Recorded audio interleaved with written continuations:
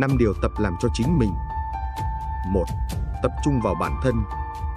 Đừng bao giờ lãng phí thời gian vào việc thuyết phục người khác thích bạn.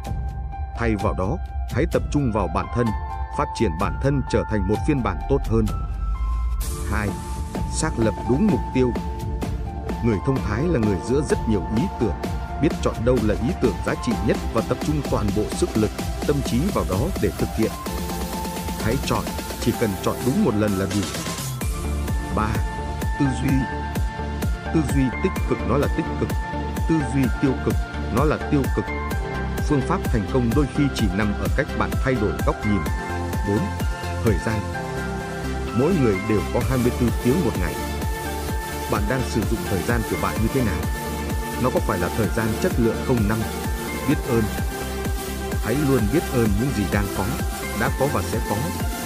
Biết ơn những điều tốt đẹp, biết ơn cả những điều tồi tệ. Bởi mỗi sự việc đến và xảy ra trong cuộc đời bạn đều là một bài học để bạn đúc rút kinh nghiệm và trưởng thành.